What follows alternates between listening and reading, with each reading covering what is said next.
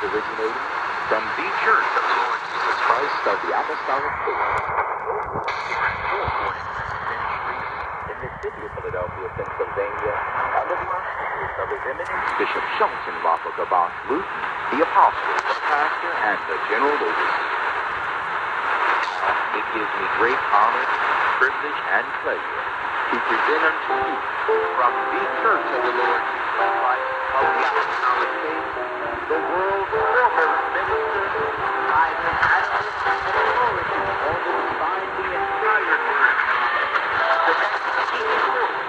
united the apostles of the last day to